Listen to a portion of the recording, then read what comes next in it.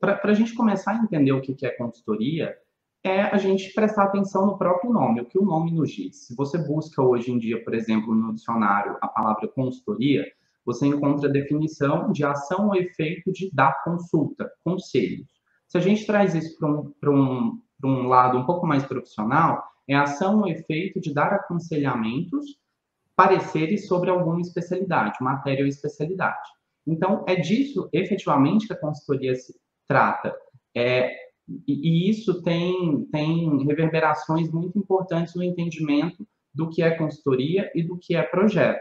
Porque as duas principais diferenças, do meu ponto de vista, são escopo e tempo.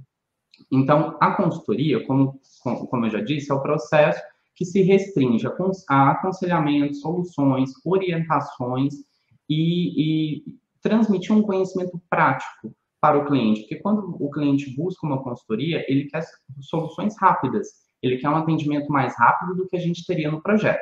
Então, está aí a primeira diferença.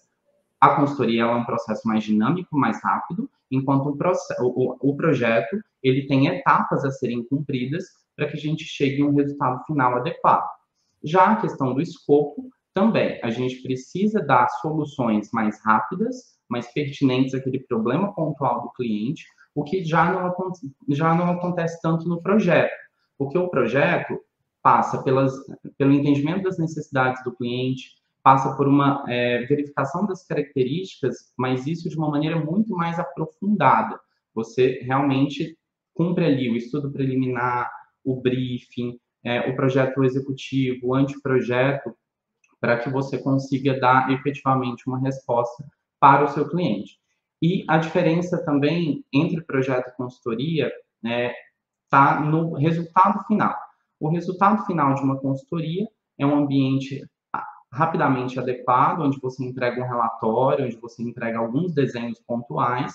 Já no projeto, você tem um caderno executivo imenso ali, totalmente detalhado, que você entrega para o cliente.